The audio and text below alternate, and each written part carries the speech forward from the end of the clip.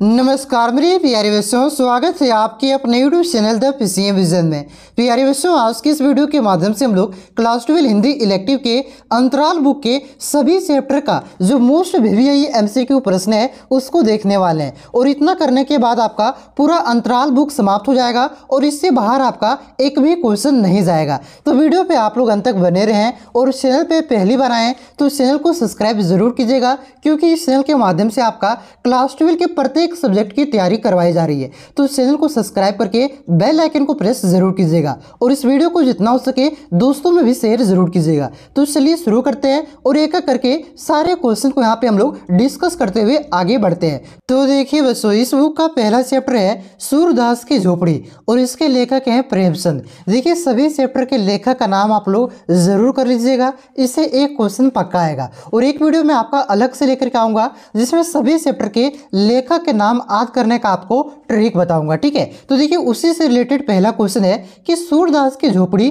के रचनाकार कौन है? तो सूरदास की झोपड़ी के रचनाकार प्रेमचंद है। ऑप्शन नंबर एक इसका करेक्ट आंसर होगा, प्रेमचंद। उसके बाद देखिए, अगला क्वेश्चन आपका क्या है कि सूरदास की झोपड़ी शीर्षक पाठ किस उपन्यास का अंश है? तो ये जो चैप्टर है आपका, सूरदास की झोपड़ी, ये आपका रंगभूमि का एक अंश है। ऑप्शन नंबर दो इसका करेक्ट आंसर होगा, रंगभूमि। उसके बाद देखिए, अगला क्वेश्चन आपका क्या है कि प्रेमचंद उर्दू में किस नाम से लिखते थे? तो प्रेमचंद उर्दू में नवाब राय के नाम से लिखते थे। ऑप्शन नंबर तीन इसका करेक्ट आंसर होगा नवाब राय। उसके बाद देखिए, अगला क्वेश्चन आपका क्या है कि सूरदास कौन था? तो इस कहानी में आपका सूरदास एक अंधा भिखारी है। ऑप्शन नंबर तीन, इसका करेक्ट आंसर होगा, एक अंधा भिखारी। उसके बाद देखिए, अगला क्वेश्चन आपका क्या है कि सूरदास की झोपड़ी शीर्षक पाठ में अंधा भिखारी है। तो इसमें अभी बताएँ कि इस चैप्टर में आपका एक अंधा भिखारी कौन है? तो सूरदास है। ऑप्शन नंबर दो, इसका करेक्ट आंसर हो जाएगा, सूरदास। उसके बाद देखिए, अगला क्वेश्चन आपका क्या है कि सूरदास किस अंग से दिव्यांग था? तो आपका अभी बताएँ कि सूरदास आपका अंधा था, यानी कि वह दृष्टिहीन था, वह आपका आँख अंग से क्या था? दिव्यांग था। तो इस क्वेश्चन का करेक्ट आंसर होगा ऑप्शन नंबर चार, वह दृष्टिहीन था, यानी कि उसे दिखाई नहीं देता था। उसके बाद देखिए, अगला क्वेश्चन आपका क्या है कि सूरदास अपने अंधेपन से ज़्यादा भैरव और जगदर के किस व्यवहार से आहत था? तो सूरदास अपने अंधेपन से ज़्यादा भैरव और जगदर का, जो उसके प्रति अपमान और उनकी ईर्ष्या की जो भावना भावना था, उससे ज़्यादा आहत था। तो इस क्वेश्चन का करेक्ट आंसर होगा ऑप्शन नंबर एक, अपमान और उनकी ईर्ष्या से। उसके बाद देखिए, अगला क्वेश्चन आपका क्या है कि जगदर सूरदास से ईर्ष्या क्यों करता था? तो जगदर सूरदास से ईर्ष्या इसलिए करता था क्योंकि सूरदास अंधा होते हुए भी चैन से रहता है। साथ ही साथ वह भीख मांग कर आराम से खाता पीता है और वह कभी निराश नहीं होता है। यानी कि ये तीनों कारण था जिस वजह से जगदर सूरदास से ईर्ष्या करता था, यानी कि सूरदास से जलन की भावना रखता था। तो इस क्वेश्चन का करेक्ट आंसर होगा ऑप्शन नंबर चार, उपरोक्त सभी। उसके बाद देखिए अगला क्वेश्चन आपका क्या है कि सुभागी किसकी पत्नी थी? तो सुभागी वेरो की पत्नी थी। ऑप्शन नंबर तीन इसका करेक्ट आंसर होगा, वेरो। उसके बाद देखिए, अगला क्वेश्चन आपका क्या है कि शराब के नशे में धूत वेरो की मार के डर से सुभागी किसकी झोपड़ी में छुप गई थी? तो ये आपका सूरदास की झोपड़ी में छुप गई थी। ऑप्शन नंबर एक इसका करेक्ट आंसर होगा, सूरदास। उसके बाद देखिए, अगला क्वेश्चन आपका क्या है कि सुभागी भैरों से डरकर रात भर कहाँ छिपकर बैठी थी? तो अभी बताएँ, सूरदास की झोपड़ी में छिपकर बैठी थी। ऑप्शन नंबर एक इसका करेक्ट आंसर होगा, सूरदास की झोपड़ी में। उसके बाद देखिए, अगला क्वेश्चन आपका क्या है कि सुभागी सूरदास की झोपड़ी में क्यों छिपी थी? तो ये अपने पति की मार के डर से, यानी कि अपने पति की मार से बचने के लिए ये सूरदास की झोपड़ी में छिपी हुई थी। तो इस क्वेश्चन का करेक्ट आंसर होगा ऑप्शन नंबर तीन, अपने पति की मार से बचने के लिए। उसके बाद देखिए अगला क्वेश्चन आपका क्या है कि किसके हस्तक्षेप से भैरव सुभागी की पिटाई नहीं कर पाता है? तो सूरदास के हस्तक्षेप से, यानी कि सूरदास यहाँ पे सुभागी को बचा लेते हैं। सूरदास के हस्तक्षेप से भैरव सुभागी की पिटाई नहीं कर पाता है। ऑप्शन नंबर तीन इसका करेक्ट आंसर होगा सूरदास। उसके बाद देखिए, अगला क्वेश्चन आपका क्या है कि भैरव को सूरदास के खिलाफ उसकाने और भटकाने में किसकी भूमिका थी? यानी कि सूरदास के खिलाफ भैरव को कौन उसकाता और भटकाता है? तो ये आपका, ये जगधर उसकाता है। ऑप्शन नंबर एक इसका करेक्ट आंसर होगा जगधर। उसके बाद देखिए, अगला क्वेश्चन आपका क्या है कि जगदर किसका खोमसा लगाता था? खोमसा का मतलब वो छोटा सा दुकान, ठीक है, ठेला टाइप का। तो जगधर किसका खोमसा लगाता था? तो ये आपका मिठाई का खोमसा लगाता था। ऑप्शन नंबर दो इसका करेक्ट आंसर होगा, मिठाई। उसके बाद देखिए, अगला क्वेश्चन आपका क्या है कि भैरव के सूरदास से दुश्मनी क्यों हुई? तो भैरव के सूरदास से इसलिए दुश्मनी होती है क्योंकि भैरव जो अपनी पत्नी को मारपीट कर रहा था, सुभागी का तो वो वहाँ पे सुभागी को बसा लेता है, यानी कि इन दोनों के बीच में हस्तक्षेप करता है, ठीक है? तो इस वजह से आपका वेरो की सूरदास से दुश्मनी हो जाता है। तो इस क्वेश्चन का करेक्ट आंसर होगा ऑप्शन नंबर दो सूरदास का सुभागी को शरण देना, यानी कि बसा लेते अपने झोपड़ी में उसे शरण देता है इस वजह से। उसके बाद देखिए अगला क्वेश्चन आपका क्या है कि सूरदास की झोपड़ी किसने जलाई? तो सूरदास की झोपड़ी आपका वेरो को, आपका जगदर के उसकाने के कारण वेरो ने ही जलाया था। तो इस क्वेश्चन का करेक्ट आंसर होगा ऑप्शन नंबर तीन, वेरो ने। उसके बाद देखिए, अगला क्वेश्चन आपका क्या है कि झोपड़ी के आसपास सन्नाटा छा जाने का क्या कारण था? तो झोपड़ी के आसपास सन्नाटा छा जाने के कारण था, क्योंकि सूरदास की झोपड़ी को वेरो ने जला दिया था इस वजह से। तो इस क्वेश्चन का करेक्ट आंसर होगा ऑप्शन नंबर तीन, झोपड़ी का जलना। उसके बाद देखिए, अगला क्वेश्चन आपका क्या है कि आटे की भांति राख को कौन बटोर रहा है? तो आटे की भांति राख को सूरदास बटोर रहा है। ऑप्शन नंबर तीन, इसका करेक्ट आंसर होगा सूरदास। उसके बाद देखिए, अगला क्वेश्चन आपका क्या है कि आग ठंडी होने पर सूरदास राग को उलट पलट कर क्या खोज रहा था? तो ये अपने जो पैसों की पोटली थी, जिसमें आपका लगभग पाँच सौ रुपये था, उसको खोज रहा था। ऑप्शन नंबर एक इसका करेक्ट आंसर होगा, अपने पैसों की पोटली। उसके बाद देखिए, अगला क्वेश्चन आपका क्या है कि सूरदास ने अपनी पोटली में कितने रुपए जमा किए थे? तो सूरदास ने अपने पोटली में पाँच सौ रुपये जमा किया था। ऑप्शन नंबर एक इसका करेक्ट आंसर होगा, पाँच सौ। उसके बाद देखिए, अगला क्वेश्चन आपका क्या है कि सूरदास किस कार्य को पूर्ण करने हेतु रुपए इकट्ठा कर रहा था? तो सूरदास अपने गया जाकर के अपने पूर्वजों का पिंडदान करने के लिए रुपए को इकट्ठा कर रहा था। साथ ही साथ मिठवा के ब्याह के लिए और गाँव में कुआँ बनवाने के लिए। यानी कि ये ये तीनों कारण था जिस वजह से आपका सूरदास पैसों को इकट्ठा कर रहा था। इस वजह से इस क्वेश्चन का करेक्ट आंसर होगा, ऑप्शन नंबर सात ये सभी। उसके बाद देखिए। अगला क्वेश्चन आपका क्या है कि झोपड़ी के जले हुए फूस की राख नहीं थी, बल्कि यह सूरदास की खाली स्थान की राख थी। तो यह सूरदास की अभिला, अभिलाषाओं यानी कि इच्छाओं की राख थी। तो इस क्वेश्चन का करेक्ट आंसर होगा ऑप्शन नंबर दो, अभिलाषाओं। उसके बाद देखिए, अगला क्वेश्चन आपका क्या है कि सूरदास को किस बात का दुख था? तो सूरदास को रुपयों की पोटली खो जाने का दुख था। ऑप्शन नंबर एक इसका करेक्ट आंसर होगा, रुपयों की पोटली खो जाने का। झोपड़ी जल जाने का इसे दुख नहीं था, जितना दुख इसे रुपयों की पोटली खो जाने का था, ठीक है? तो ऑप्शन नंबर एक इसका करेक्ट आंसर होगा। अगला क्वेश्चन देखिए क्या है कि पोटली में रखे अपनी उम्र भर की कमाई से सूरदास कौन सी इच्छा पूरी करना चाहता था? तो अभी मैंने आपको बताया, मिठवा की ब्याह करना था, चाहता था, गया जाकर के पिंडदान करना चाहता था और गाँव में कुआँ बनवाना चाहता था। तो इस क्वेश्चन का करेक्ट आंसर होगा ऑप्शन नंबर चार उपयुक्त सभी। उसके बाद देखिए, अगला क्वेश्चन आपका क्या है कि चूल्हा ठंडा किया होता तो दुश्मनों का कलेजा कैसे ठंडा होता? यह कथन किसका है? तो यह कथन यहाँ पे नायक राम का है। ऑप्शन नंबर एक इसका करेक्ट आंसर होगा, नायक राम का। उसके बाद देखिए, अगला क्वेश्चन आपका क्या है कि जगधर को किसने बताया कि उसने सूरदास की झोपड़ी जलाई और उसकी पोटली ले ली? तो यह आपका भैरो ने बताया था। ऑप्शन नंबर तीन इसका करेक्ट आंसर होगा भैरो उसके बाद देखिए, अगला क्वेश्चन आपका क्या है कि वेरो चुराई गई पोटली दिखाकर जगदर से क्या कहता है? तो वेरो चुराई गई पोटली दिखाकर जगदर से ये कहता है कि सुभागी को पनाह देकर मेरी आवारों बिगाड़ने की सजा है। ऑप्शन नंबर दो, इसका करेक्ट आंसर होगा। उसके बाद देखिए, अगला क्वेश्चन आपका क्या है कि वेरो के पास सूरदास की पोटली देखकर जगधर के मन में क्या भाव उत्पन्न होते हैं? तो भैरव के पास सूरदास की पोटली को देख करके जगधर के मन में भैरव के प्रति ईर्ष्या यानी कि जलन के भाव उत्पन्न होता है। ऑप्शन नंबर तीन इसका करेक्ट आंसर होगा, ईर्ष्या का। उसके बाद देखिए, अगला क्वेश्चन आपका क्या है कि सूरदास और सुभागी को किसने बताया कि पोटली भैरव के पास है? तो ये जगधर बताते हैं। ऑप्शन नंबर एक इसका करेक्ट आंसर होगा जगधर। उसके बाद देखिए, अगला क्वेश्चन आपका क्या है कि भैरव के पास पोटली होने की बात सुनकर सूरदास ने जगधर से क्या कहा? तो सूरदास ने जगधर से यह कहता है कि यह पोटली मेरी नहीं है, ठीक है? तो इस क्वेश्चन का करेक्ट आंसर होगा। ऑप्शन नंबर तीन, पोटली और पैसा उसका नहीं है, यानी कि सूरदास का नहीं है, ये सूरदास कहता है। उसके बाद देखिए देखिए, अगला क्वेश्चन आपका क्या है कि सूरदास क्या सोचकर जगधर से अपनी आर्थिक हानि को गुप्त रखना चाहता है? तो वह इसलिए यह सोच करके अपनी आर्थिक हानि को गुप्त रखना चाहता है, यानी कि किसी को नहीं बताना चाहता है, क्योंकि उसे लज्जा होगी कि भिखारी इतना पैसा जमा किसे कर लिया, ठीक है? तो इस क्वेश्चन का करेक्ट आंसर होगा ऑप्शन नंबर दो, धन जमा करना भिखारी के लिए लज्जा की बात है इस वजह से। उसके बाद देखिए, अगला क्वेश्चन आपका क्या है कि सच्चाई सुनकर सुहागी वापस भैरव के पास जाने का निर्णय क्यों लेती है? तो इसलिए जाती है क्योंकि वह सूरदास की पोटली पाकर उसे वापस लौटाना चाहती थी इस वजह से। ऑप्शन नंबर दो, इसका करेक्ट आंसर होगा। उसके बाद देखिए, अगला क्वेश्चन आपका क्या है कि रोते हुए मिठुआ को घिसु क्या कहकर चढ़ाता है? तो रोते हुए मिठुआ को घिसु यह करके चढ़ाता है कि तुम खेल में रोती हो। ऑप्शन नंबर एक, इसका करेक्ट आंसर होगा, तुम खेल में रोती हो। उसके बाद देखिए, अगला क्वेश्चन आपका क्या है कि तुम खेल में रोते रोते हो, यह कथन किसका है? तो यह कथन आपका घिसु का है ऑप्शन नंबर एक इसका करेक्ट आंसर होगा। अगला क्वेश्चन देखिए आपका क्या है कि रोना छोड़कर सूरदास उठ खड़ा हुआ और विजय गर्भ में दोनों हाथों से किया, उड़ाने लगा। तो ये राग को, राग के ढेर को उड़ाने लगता है। ऑप्शन नंबर तीन इसका करेक्ट आंसर होगा, राग के ढेर को। उसके बाद देखिए, अगला क्वेश्चन आपका क्या है कि मिठुआ ने जब पूछा कि कोई झोपड़ी को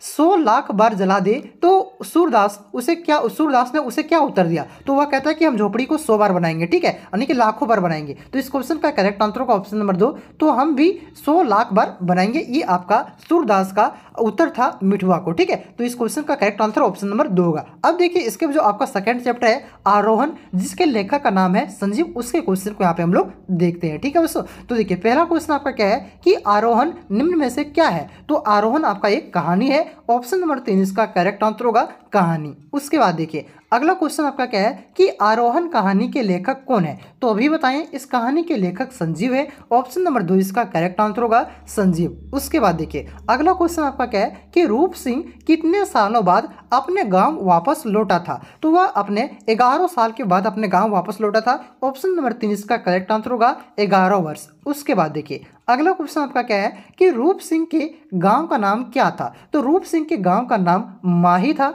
ऑप्शन नंबर चार, इसका करेक्ट आंसर हो जाएगा, माही। उसके बाद देखिए, अगला क्वेश्चन आपका क्या है कि रूप सिंह को लग रहा था कि यदि किसी ने उससे पूछा कि वह इन ग्यारह साल उसने क्या किया? तो वह क्या जवाब देगा? यह सोचकर वह किस भावना से ग्रसित था? तो वह झिझक की भावना से ग्रसित था यह सोच करके ऑप्शन नंबर एक, इसका करेक्ट आंसर होगा झिझक उसके बाद देखिए अगला क्वेश्चन आपका क्या है कि माही किस गाँव से पहले पढ़ने वाला गाँव है? तो माही आपका सरंगी गाँव से पहले पढ़ने वाला गाँव है। ऑप्शन नंबर दो इसका करेक्ट आंसर होगा, सरंगी। उसके बाद देखिए, अगला क्वेश्चन आपका क्या है कि उड़े हुए नीले रंग की पहाड़ी, पतलून और स्लेटी स्वेटर पहने तथा अपने चेहरे पर मासूमियत बटोरे एक छोटी उम्र का बालक कौन था? तो वह आपका महिब था। ऑप्शन नंबर एक इसका करेक्ट आंसर होगा महिब उसके बाद देखिए अगला क्वेश्चन आपका क्या है कि सांप की मारी अभागिन, लेखक ने किस नदी को अभागिन कहा है? तो यहाँ पे लेखक ने आपका सुपिन नदी को अभागिन कहा है। ऑप्शन नंबर एक, इसका करेक्ट आंसर होगा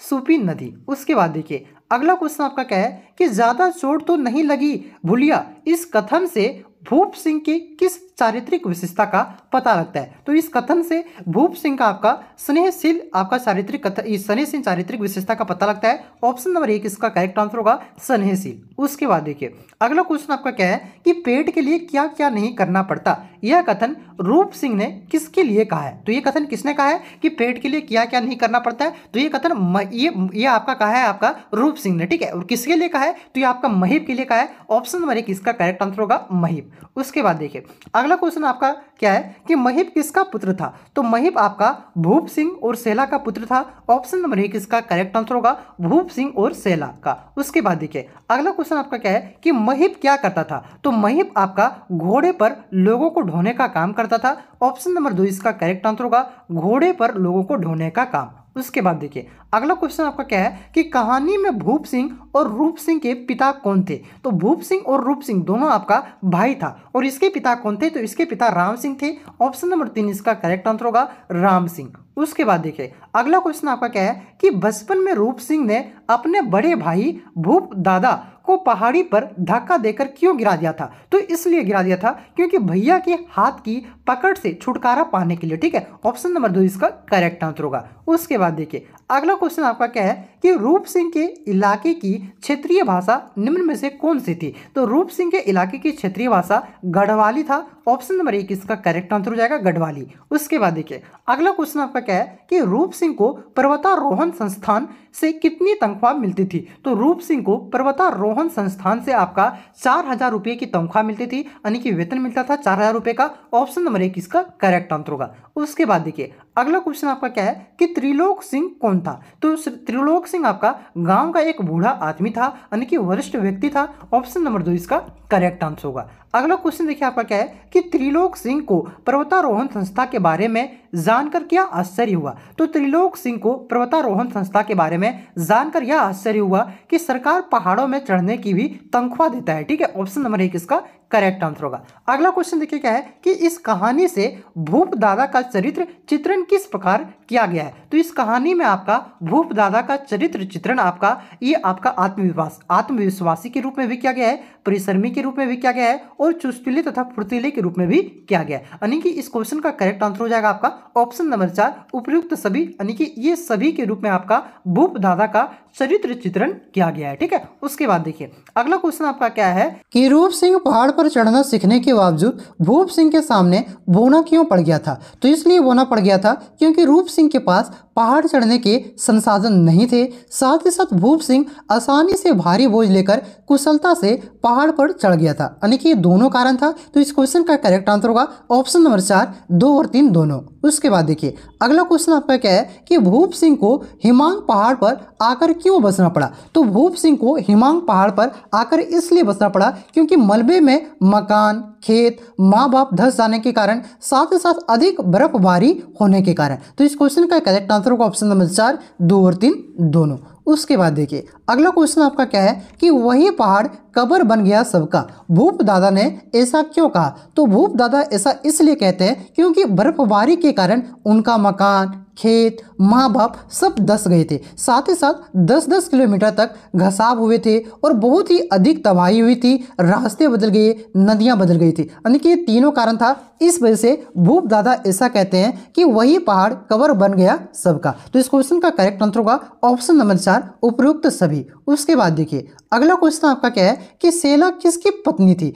तो सेला भूप सिंह की पत्नी है। ऑप्शन नंबर दो इसका करेक्ट आंसर होगा, भूप सिंह। उसके बाद देखिए, अगला क्वेश्चन आपका क्या है कि झरने को मोड़ने में भूप सिंह की सहायता किसने की थी? तो झरने को मोड़ने में भूप सिंह की किसने सहायता किया था? तो ये सेला ने किया था। ऑप्शन नंबर चार इसका करेक्ट आंसर होगा सेला, जो कि उसकी पत्नी थी, ठीक है? उसके बाद देखिए, अगला क्वेश्चन आपका क्या है कि आरोहण कहानी में स्त्रियों की कैसी छवि प्रस्तुत की गई है? तो इस कहानी में आपका स्त्रियों ने कि महिलाओं की छवि आपका बहुत ही दयनीय स्थिति, सरल जीवन शैली और परिश्रमी एवं अनपढ़ शैली को प्रस्तुत किया गया, यानी कि ये सभी शैली को यहाँ पे प्रस्तुत की गई है। तो इस क्वेश्चन का करेक्ट आंसर होगा ऑप्शन नंबर चार, ये सभी। उसके बाद देखिए, अगला क्वेश्चन आपका क्या है कि गर्भवती सेला द्वारा भूप सिंह की खेती में सहायता नहीं कर पाने के कारण भूप सिंह के द्वारा किसी और से शादी कर लेने पर सेला ने क्या किया? तो सेला उसे सुपिन में कूदकर आत्महत्या कर लेती है। तो इस क्वेश्चन का करेक्ट आंसर होगा ऑप्शन नंबर एक। उसके बाद देखिए, अगला क्वेश्चन आपका क्या है कि महिप ने भूप सिंह का घर क्यों छोड़ दिया था? तो महिप ने भूप सिंह का घर इसलिए छोड़ दिया था क्योंकि वह अपनी माँ की मृत्यु का दोषी भूप सिंह को मानता था इस वजह से। ऑप्शन नंबर तीन इसका करेक्ट आंसर होगा। अब देखिए, अगला यहाँ से जो क्वेश्चन शुरू होता है, यह आपका तीसरा चैप्टर जो है, बिस्कोर की माठी जिसके लेखक है आपका विश्वनाथ त्रिपाठी, इसके क्वेश्चन को हम लोग देखते हैं, ठीक है? तो देखिए, पहला क्वेश्चन आपका वही है कि विस्कोर की माटी के रचनाकार हैं। तो विस्कोर की माटी के रचनाकार कौन है? तो इसके रचनाकार यानी कि इसके लेखक आपका विश्वनाथ त्रिपाठी है। ऑप्शन नंबर तीन इसका करेक्ट आंसर होगा। अगला क्वेश्चन देखिए क्या है कि विस्कोर की माटी किस शैली में लिखा गया है? तो ये आपका आत्मकथा शैली में लिखा गया है। ऑप्शन नंबर एक इसका करेक्ट आंसर होगा आत्मकथा उसके बाद देखिए, अगला क्वेश्चन आपका क्या है कि विस्कोर की माटी लेखक की किस पुस्तक से ली गई है? तो विस्कोर की माटी ये लेखक के नंगा तलाई गाँव से इस पुस्तक से लिया गया है। ऑप्शन नंबर दो इसका करेक्ट आंसर होगा। उसके बाद देखिए, अगला क्वेश्चन आपका क्या है कि विस्कोर की माटी में लेखक ने ग्रामीण जीवन के किन पहलुओं को प्रस्तुत किया है? तो यहाँ पे आपका गाँव का प्राकृतिक परिवेश इसको भी प्रस्तुत किया है। साथ ही साथ आपका ग्रामीण जीवन शैली, लोक कथाएँ और मान्यताओं, साथ ही साथ जीवन में माँ का स्थान को भी सभी प्रस्तुत किया है। यानी कि ये सभी को प्रस्तुत किया है तो इस क्वेश्चन का करेक्ट आंसर होगा आपका। ऑप्शन नंबर चार उपयुक्त सभी। उसके बाद देखिए अगला क्वेश्चन आपका क्या है कि गाँव का जीवन किस पर निर्भर करता है? तो गाँव का जीवन प्राकृतिक पर निर्भर करता है। ऑप्शन नंबर एक इसका करेक्ट आंसर होगा, प्रकृति। उसके बाद देखिए, अगला क्वेश्चन आपका क्या है कि लेखक ने किस फूल का विशेष उल्लेख किया है? तो लेखक ने इस चैप्टर में आपका कमल के फूल का, कोया के फूल का और आपका हरसिंगार के फूल का, यानी कि तीनों फूल का यहाँ पे विशेष उल्लेख किया है। तो इस क्वेश्चन का करेक्ट आंसर होगा उपयुक्त सभी। उसके बाद देखिए, अगला क्वेश्चन आपका क्या है कि पूर्व टोले के पोखर में कौन सा फूल फूलते थे? तो पूर्व टोले के पोखर में आपका कमल का फूल फूलता था। ऑप्शन नंबर दो इसका करेक्ट आंसर होगा कमल। अगला क्वेश्चन देखिए आपका क्या है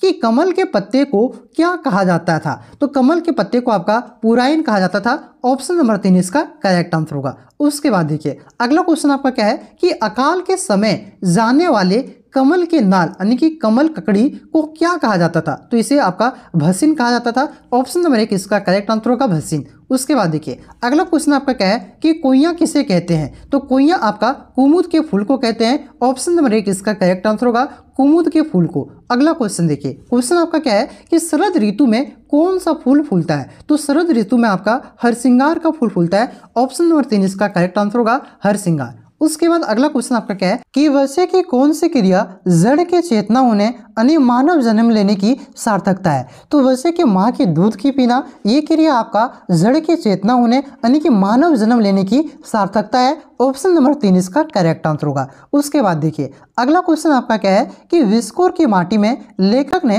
किस अत्याचार की बात कही है? तो इसमें आपका लेखक ने माँ के दूध पर छोटे भाई की कब्जा की अत्याचार की बात कही है। ऑप्शन नंबर तीन इसका करेक्ट आंसर होगा। उसके बाद देखिए, अगला क्वेश्चन आपका क्या है कि लेखक ने बतख से किन की तुलना की है? तो लेखक ने बतख से माँ की तुलना किया है। ऑप्शन नंबर एक इसका करेक्ट आंसर होगा माँ की। उसके बाद देखिए अगला क्वेश्चन आपका क्या है कि इनमें से कौन सा सांप जहरीला होता है? तो इनमें से आपका गेहमन सांप, जिसे अंग्रेज़ी में आपका फेंटारा कहा जाता है, ये सांप बहुत ही ज़्यादा जहरीला होता है। अगर किसी को एक बार काट ले तो उसे बचाना मुश्किल है, ठीक है? तो इस क्वेश्चन का करेक्ट आंसर होगा ऑप्शन नंबर तीन, गेहमन यानी कि फेंटारा। उसके बाद देखिए, अगला क्वेश्चन आपका क्या है कि इनमें से कौन सा सांप दो मुँह वाला होता है? तो जो आपका मजगिदवा सांप है, ये आपका दो मुँह वाला होता है। ऑप्शन नंबर एक इसका करेक्ट आंसर होगा। अगला क्वेश्चन देखिए आपका क्या है कि शेषक के रोगी के पास किसके फूल रख दिए जाते हैं? तो देखिए, आप लोगों ने गाँव में भी देखा होगा, किसी को चेचक हो जाता है, यानी कि माता जी हो जाता है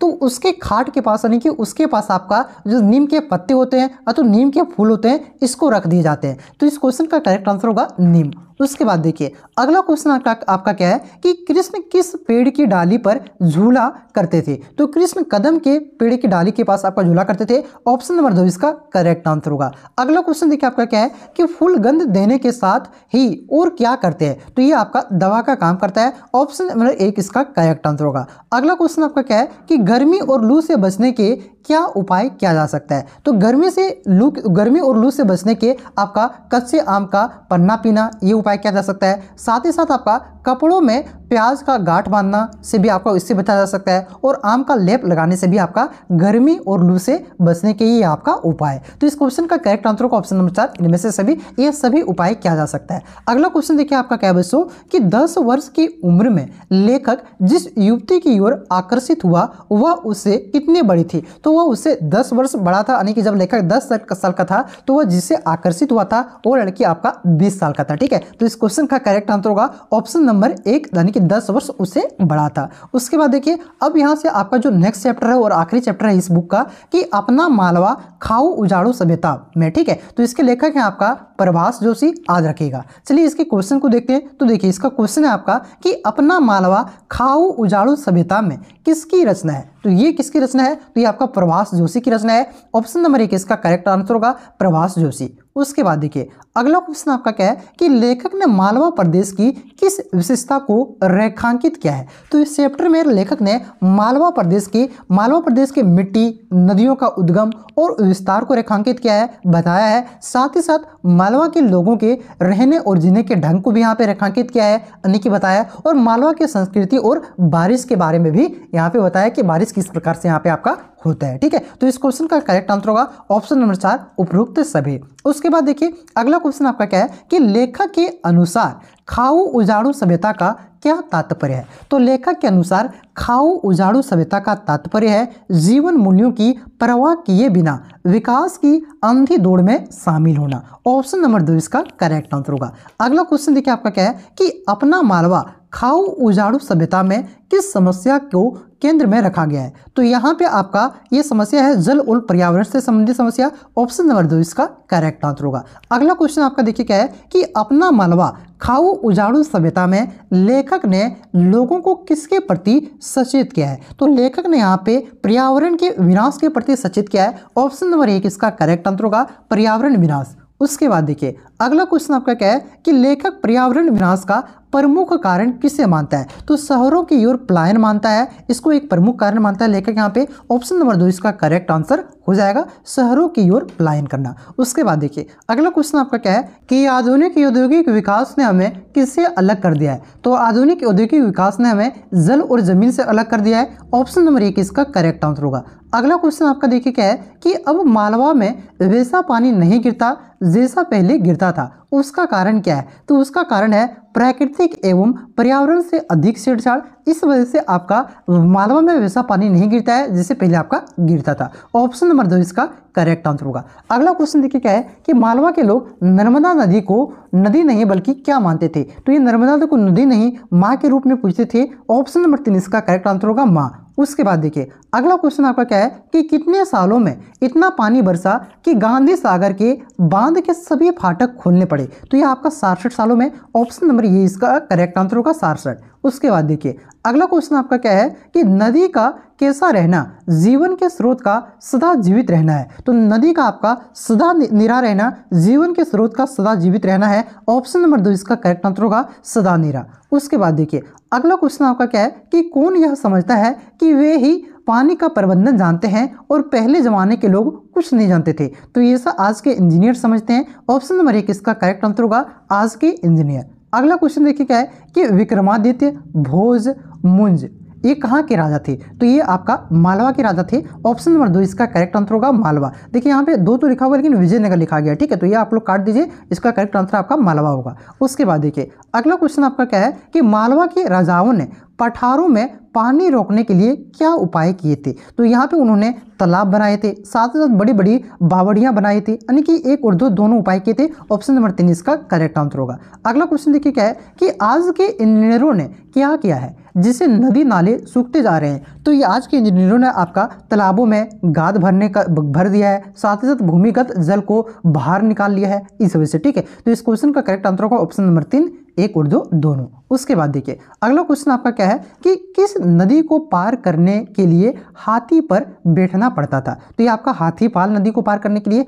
ऑप्शन नंबर एक इसका करेक्ट आंसर होगा हाथीपाल नदी। अगला क्वेश्चन देखिए आपका क्या है कि इंदौर से निकलने और उससे मिलने वाली नदियों को को कुव्यवस्था का क्या बना दिया? तो ये आपका सड़े नाले बना दिया। ऑप्शन नंबर दो इसका करेक्ट आंसर होगा। अगला क्वेश्चन देखिए आपका क्या है कि नदियों ने सभ्यता को जन्म दिया, लेकिन आज की सभ्यता नदियों को क्या बना रही है? तो आज की सभ्यता सभ्यता नदियों को आपका गंदे पानी के नाले बना रही है। ऑप्शन नंबर एक इसका करेक्ट आंसर होगा, अपने गंदे पानी के नाले। अगला क्वेश्चन देखिए। अगला क्वेश्चन क्या है कि किस अखबार की लाइब्रेरी में सन 1878 से पानी के रिकॉर्ड मौजूद है। तो ये आपका नई दुनिया ऑप्शन नंबर तीन इसका करेक्ट आंसर होगा। उसके बाद देखिए, अगला क्वेश्चन आपका क्या है कि अतिवृष्टि वाले साल 1973 में कितने इंच बरसात हुई थी? तो ये आपका 77 इंच बरसात हुआ था। ऑप्शन नंबर दो इसका करेक्ट आंसर होगा 77 इंच। उसके बाद देखिए, अगला क्वेश्चन आपका क्या है कि यहाँ संभाल कर रखने से पानी के मामले में दुष्काल का वर्ष मज़े से निकल जाता है। तो ये नदी को संभाल, नाले को और आपका तालाब को, ये सभी को संभाल कर रखने से, ठीक है? ऑप्शन नंबर चार इसका करेक्ट आंसर होगा। अगला क्वेश्चन देखिए क्या है कि जिस हम विकास की औद्योगिक सभ्यता कहते हैं, ठीक है वो वास्तव में क्या है? तो वास्तव में आपका उजाड़ की अपसभ्यता है, ठीक है? ऑप्शन नंबर इसका करेक्ट आंसर हो जाएगा एक, उजाड़ की अपसभ्यता। उसके बाद देखिए, अगला क्वेश्चन आपका क्या है कि कमलेश सेन और अशोक जोशी द्वारा जमा की गई कतरने क्या बताती है? तो ये आपका वातावरण में गर्म होना, गर्म हो रहा है, ये भी बताता है। साथ ही साथ ध्रुवों में जो जमी बर्फ़ है, वो पिघल रहा है, ये भी बताता है। और मौसम चक्र का बिगड़ बिगड़ रहा है, ये भी बताता है। यानी कि ये सभी बताता है ऑप्शन नंबर चार इसका करेक्ट आंसर होगा ये सभी। अगला क्वेश्चन देखिए क्या है कि वातावरण को गर्म करने वाली कार्बन डाइऑक्साइड गैसों ने धरती के तापमान को कितना बढ़ा दिया है? तो ये तीन डिग्री सेल्सियस बढ़ा दिया है। ऑप्शन नंबर तीन इसका करेक्ट आंसर होगा। अगला क्वेश्चन देखिए क्या है? और आखिरी क्वेश्चन आपका कि किस देश ने कहा है कि अपनी खाऊ उजाड़ू जीवन पद्धति से कोई समझौता नहीं करेगा। तो ये आपका अमेरिका ने कहा है। ऑप्शन नंबर एक इसका करेक्ट आंसर होगा अमेरिका। तो यहाँ पे मैं आपका जो आपका अंतराल बुक था बच्चों इसका मैंने यहाँ पे टोटल जितना भी 110 एमसीक्यू बन सकता था ये मैंने सारा इंपॉर्टेंट एमसीक्यू आपको करवा दिया। अब इस बुक से कोई भी क्वेश्चन आप, आपके एग्ज़ाम में पूछे जाते हैं तो इससे आपका एक भी क्वेश्चन बाहर नहीं जाएगा। उसके बाद जो आपका पहला बुक था जिसमें आपका कविता भी है और कहानी भी है अंतरा उसके भी क्वेश्चन मैं आपको करवा दूँगा। पहले कहानी सेक्शन का करवाऊँगा, फिर उसके बाद आपका कविता सेक्शन का सारा क्वेश्चन कराऊँगा और सारा का इसका ऑब्जेक्टिव और सब्जेक्टिव दोनों करवाऊँगा। ठीक है बच्चों? इसका भी सब्जेक्टिव करवा दूँगा। बस आप लोग चैनल से जुड़े रहिए। चैनल पर पहली बार आए तो चैनल को सब्सक्राइब ज़रूर कीजिएगा। इस वीडियो को दोस्तों में ज़्यादा से ज़्यादा शेयर कीजिएगा और आप लोग वीडियो को लाइक करना नहीं भूलिएगा। ठीक है? तो चलिए मिलते हैं नेक्स्ट वीडियो में। तब तक के लिए जय हिंद, जय भारत, जोहार झार।